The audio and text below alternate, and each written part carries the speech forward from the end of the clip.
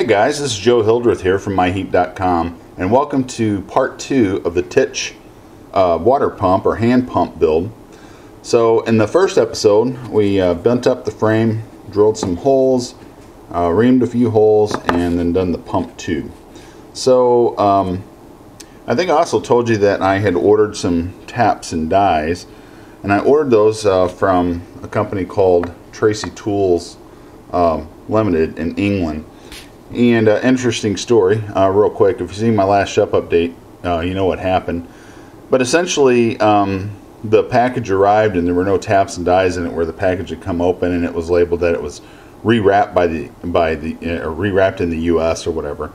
So I contacted them and they were nice enough to send out some replacements. So the build talks about using uh, 316 by 40 and quarter by 40 taps and that's what I have here.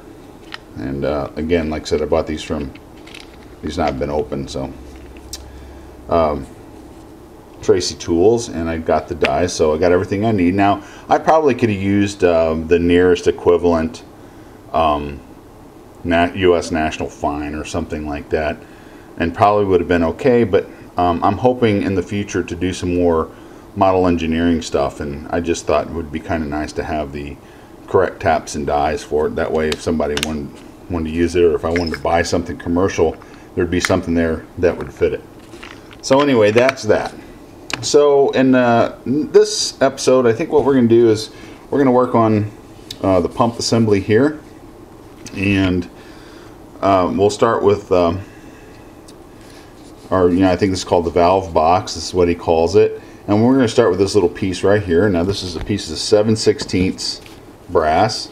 Okay, it's going to be turned down uh, to a snug fit inside our pump tube and then uh, drilled through uh, number 40. then we're going to turn around and turn this down uh, for 3 16ths by 40 thread on here that will screw into the rest of the pump body.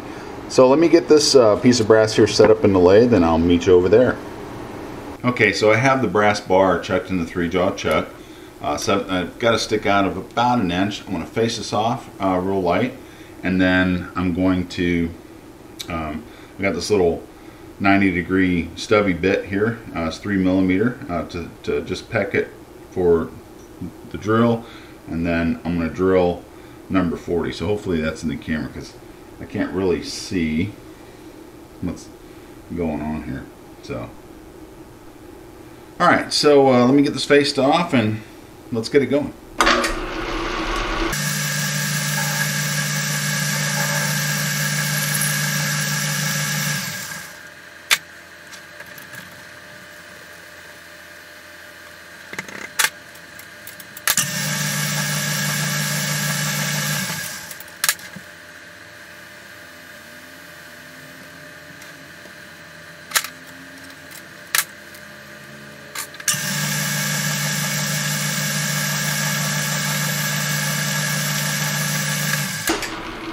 Okay, that's drilled about a half inch through. Should give us enough. All right, so now we're gonna, let me, I'm gonna get set up here. We're gonna turn this down to 3 16ths um, so that we can tap that. No, I'm sorry. We're not. We're gonna turn that down to about 3 8 so that it's a tight fit in the um, pump body right here. So um, let me get uh, let me get set up for that and I'll bring you right back in. Okay, so I've changed tools and I've marked this about 3 16ths back. I don't think it's really critical. So all I want to do is I want to touch off and turn this down until I have a nice snug fit in uh, this tube here. So let's get started.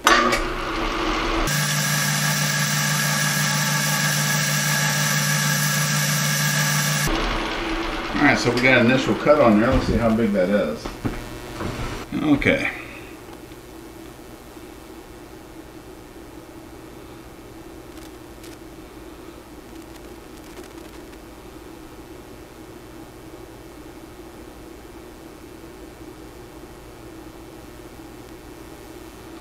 Alright, so we look at to be at about 427 and I need to be at 375. All right, so I'm going to take light passes on this, and then uh, when I get down to the, uh, uh, when I get this turned down, I'll bring you back in. Okay, uh, you know I broke my little magnetic camera mount thing, so I'm sort of fighting with the camera. All right, so this uh, I got about six thou more or less to take off, and then we can. Uh, I should be pretty close. So let's take that off and see what happens.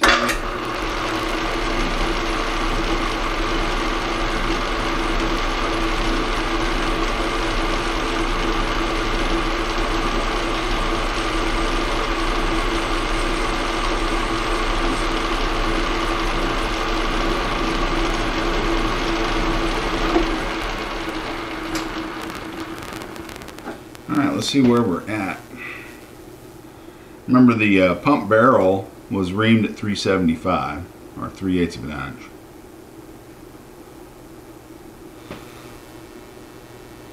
And looks like I'm at 376. So that would technically be a press fit depending on how this and that is just wanting to start. So I think what I'm going to do is just lightly touch this with a file.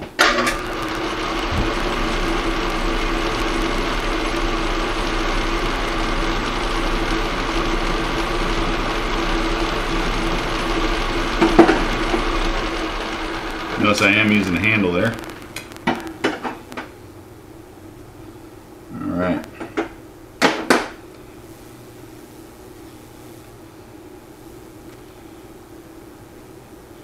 That's a nice firm fit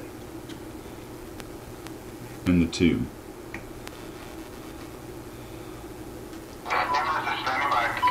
Okay, sorry about my phone. I forgot to mute it. All right, so I'm going to change setups. I'm going to get this in a collet, and uh, I'll bring you back in. Well, I guess I lied to you. I'm a dirty liar. Got to before I can put this in a collet, I need to part it off. So I've marked it back 3 16ths of an inch, uh, or 3 eighths overall, and got my tool squared up. And let's get this parted off.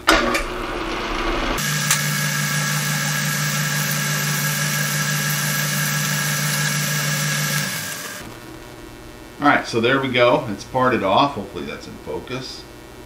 That's parted off. I just need to knock the burr off and I will kiss it real light on the back side to bring it down to my layout line. So when I get it set back up, I'll bring you right back in. Okay, so I've uh, parted the piece off. I faced it down and I put it in a collet. Got it ready. I have a uh, stop set so that I'm only cutting about an eighth inch. That'll leave about a sixteenth of an inch um, flange on the back. This will get turned down to 3 16ths and will be threaded 3 16ths by 40. So, um, let's get started.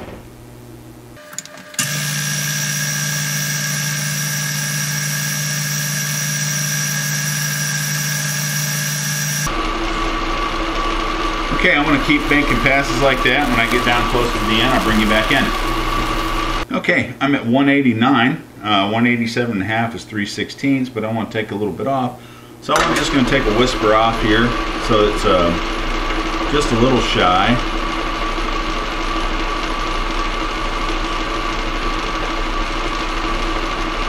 Of 3 16ths. Alright, let's check that.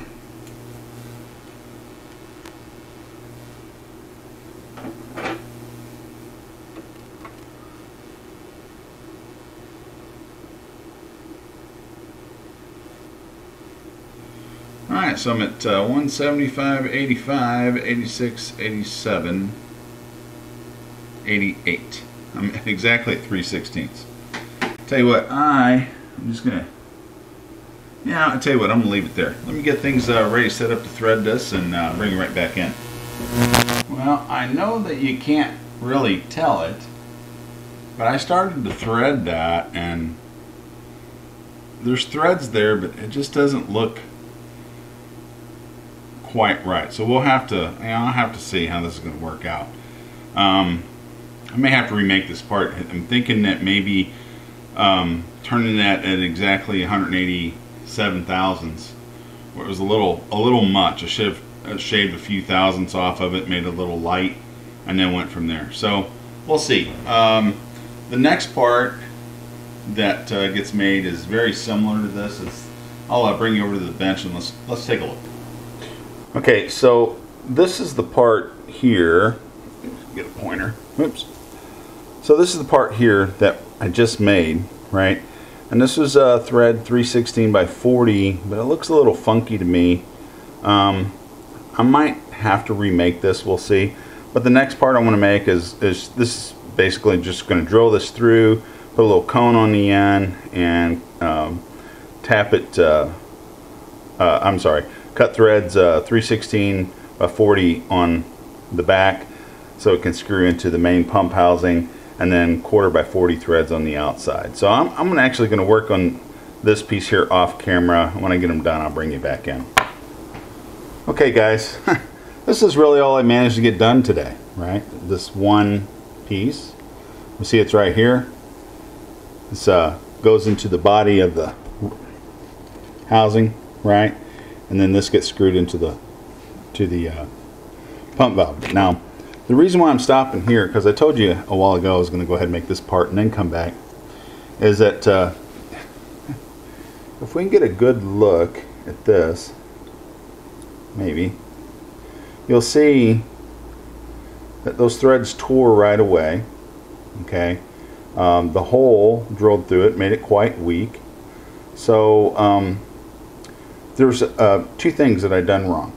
Right now, would the hole had mattered, I don't know, but probably that hole, leaving such a thin wall here, probably should have been left to last. This one here, you see, turned out pretty good. Okay, so this is, that's the keeper part. But now, um, the very first thing I done was I chucked a piece of, uh, for this one here, I chucked a piece of uh, 7 16 inch brass I turned this down to 3 8 so it was a good snug fit in the in the tube and uh, and then turned it over and I put it in a 3 8 collet. Now the collets that I'm using, some of you guys are going to laugh, are two Morse taper collets. So there's a 3 8 and there's a 3 16 Maybe it'll show up. 3 16 um, but now my headstock is a 3 Morse taper, right? So I use the 3 to 2 Morse taper sleeve. It's going to be a little bit out, yeah, but this is not really exactly a precision part that we're making here. It's just a pump. So the second way that I done it was I went ahead and turned down about a quarter inch um, 3 16ths. Now the first one I was right on 3 16ths. This one here I cut down about eh, three or four thousandths smaller. Okay, and then I went ahead and threaded it with the die, and then parted it off to length and then turn around and I put this in in the 3 16 inch collet face this part here down or turn this part here down to the to the fit on the uh, onto the tube and then drilled it that seemed to work pretty good except that now when I got toward the end the uh, the grill the drill grabbed right which could be expected it's brass um, sort of spun it in the uh, collet, so I just went ahead and stopped and pulled it out. And I knew I was deep enough that when I parted this down to size, I was okay. And then I just run the die back over and it was good. So, so the first problem, I think, being a newbie and all, was that I should have knocked a few thousandths off where I was going to have the 3 16th thread. Okay, and the other one is a matter of tooling. Okay, so here you see it's a 3 16th by 40 model engineering high speed steel die. And uh, interestingly enough, this die is tapered on both sides. Okay, can you tell that? I don't know if you can tell it. It's tapered there and it's tapered there. Okay, um, but now what I noticed is this is the only tap handle I got for this small size die and you see there's a gap there in the back. So I didn't have these tight enough and it caused that to cock. And when that cocked, I think that's what grabbed and tore that little spigot off, right? Because if you look, if I can get it to focus, it, it tore it off and it's all kitty wampus off to the side. So I think that's what happened. So I'm going to stop this and, and post this now and and uh, just for you other newbies out there, um, pay close attention to your tooling and its alignment and sizes. If you're going to cut a, a very small thread like this, it, uh, it pays to have it just a couple, two or three thousand under. I can't believe I, I can't, I don't remember if I was three thousandths under or four thousandths under. I was either at 185, 185 thousandths or 184 thousandths. I, I can't remember. But anyway, that's going to work. Because when we drill the hole in the side of the uh, main pump body, that a thread in there, and then everything will get soldered up afterwards. So on the next video, I'm going to continue on with the pump body. There's two caps to make. The body uh, gets a couple balls um, to seat. These are got to be fairly closely drilled, and then there's a part here. Where, this is the outlet. So I'll pick it up from there. There's not a whole lot uh, to this thing. I'll have a uh, have a rod to do. Uh, if somebody can give me some information on how to, I'm going to put a would like to put an O-ring in there. So if somebody can give me some information on O-rings or where to find it, um, let me know. And I did just recently get a little black book, so maybe it's in there. I do have a machinery's handbook. maybe it's in there. Everything's in there, right? Um, so that's where I'm going to let it let it go. So hey guys, uh, thanks for watching and and taking the time to spend with me. I appreciate it. I, I know that I haven't had many shop videos coming out lately because of uh, other things in, life going on. So hopefully we can get this pump done so that we can get this little engine running. Uh, the engine uh, does run or is, is pretty smooth. So it uh, I think it's going to do just just fine. Just need to pressure test this boiler here and and uh, move on to bigger and better things. So um, other than that, have a blessed day.